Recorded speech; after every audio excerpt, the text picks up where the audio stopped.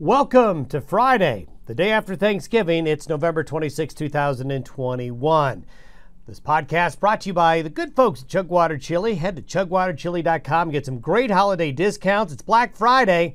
Get online at chugwaterchili.com. You can do it in the comfort of your home and take advantage of these 20% offers on all Chugwater Chili products all the way through November 29th. 20% off. Go to chugwaterchili.com. Severe clear that's right, folks. Between today and probably through next Thursday, a six day period, there's just really nothing more than a few flurries in the mountains.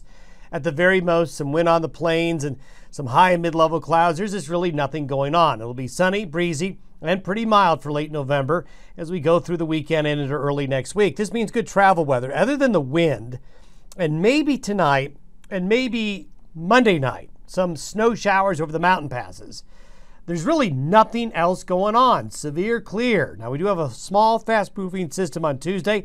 We don't expect it to do much. The jet stream is just locking everything up along the U.S. Canadian border points north from there, so there's just not much going on. We're still expecting that first shot of colder weather by next Friday. So, basically, a week from today, things will start to look and feel a little bit different. The long term continues to look active and colder. Nothing to change our mind that December is going to be off to a mild start on the first and second. Then after the third, things get a little bit more interesting. We have some incredible photos coming in. Just a beautiful sunrise over the last two mornings. This is from Jim Masterbrook in Medicine Bow, Wyoming, with a great view. And yesterday morning in Laramie, County Author sends us this of just a beautiful sunrise and sunset pattern over the region over Thanksgiving Day yesterday and what we saw this morning in many areas. So, one thing you do get in this type of pattern is you do get a lot of these high and mid level clouds, those lenticular clouds, and it can really make for spectacular sunrises and sunsets. Here's the reason why there's nothing going on. As we've been reporting, the La Nina dominated jet stream flow, when it's like this in phase one of La Nina, you get this straight line flow out of the Pacific. The Greenland block continues to build, but as long as this flow, if you if you were to add up the miles that the jet stream is generally moving straight, you know, you're talking about a huge distance. So it's like a wall damming up the real cold air and blocking us from any major weather system. So essentially, this pattern, for the most part, is going to hold for six days. So, milder air from the Pacific is what's going to be the air we're going to be breathing across most of the western United States. Here's a little wave coming in on Monday night and Tuesday. That's that little system we talked about. But this is today and this is Monday night. So you can see there's just really no nothing going on that's changing at least around our neck of the woods. Now you probably are noticing more blue up north as more cold is building up there. There's that cold. This is for Monday, next Monday, the Monday after this weekend. These are temperatures in Alaska and the Yukon and parts of the Northwest Territories by the afternoon hours of next Monday. See that minus 39 here. There's some light pink areas. Those light pink areas are where you're approaching or getting colder than minus 40. Alaska that has had a really cold fall. We've been really warm here. It's been really cold in Alaska. What is really interesting, and this is how the weather works when it's really, really cold in Alaska, we tend to be mild. When it starts to get mild relative to average in Alaska, that's when we get really cold. It seems that it should be the opposite, but that's the case. Okay, here we go. This is Friday, the 3rd of December. Now, it actually looks like still a very straight flow, and that still is. But what's going to happen is as the Greenland block continues to build and stay there. Notice the high pressure ridge developing here in the eastern Pacific. So, what is going to happen is these darker colors up here, which have been more up here, starting to move south by Thursday night into Friday morning. And behind that is a really cold air mass. You see this little wave right here? This is going to basically grab the cold air and drag it south into the lower 48 states by next weekend or shortly after that. So things are really starting to change right around the 3rd of December. This establishment of this high here, this high here is going to bottle up the cold over North America. When there's a ridge here, we go into the fridge in western areas of the United States. Bomb, look at that. So this is Friday morning. This is the following Monday.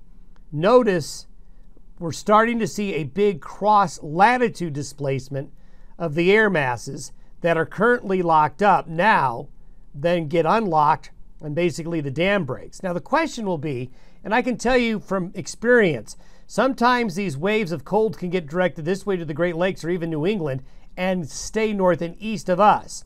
But right now, it does look like, at least initially, the first surge of really cold air into the lower 48 states will be in the central and western areas of the United States. So you're talking about a big displacement of cold air by then, by a week from this following Monday. So it's hurry up and wait. If you're one of those like me that loves winter weather, that loves it getting cold and snowy and getting us into that holiday mood, I know we're in the minority, but it's a long period of waiting before we see this weather pattern change. In the meantime, hang up your Christmas lights, get your traveling in, because we're going to have this mild weather last a bit longer. Now, these are temperatures relative to average by Monday the 6th. Look at all the purple over Montana there, even back into Idaho.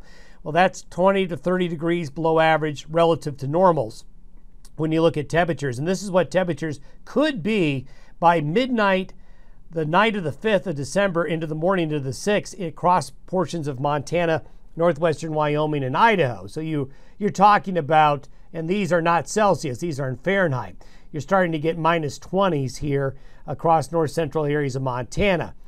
This is a long range model, so take this with a grain of salt. Remember, in long range weather forecasting, it's, it's all about the trend, not about the specifics, but the trend. Is the trend going to be changing?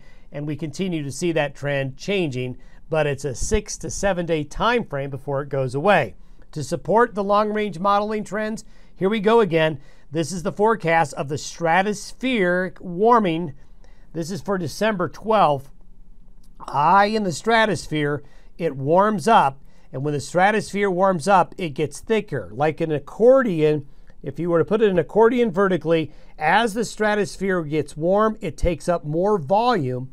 As it takes up more volume, it pushes the cold air in the higher latitudes near the ground and directs it in directions like this. So there's a lot indicating that the colder weather is coming. And when we see a stratospheric warming trend like this, that really adds to the fact that it should be getting colder. However, it's hard to believe a long range forecast of colder weather when we're stuck.